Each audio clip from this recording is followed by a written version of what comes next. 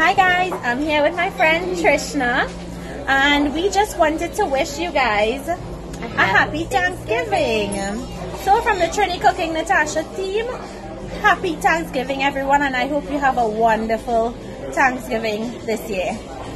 Bye.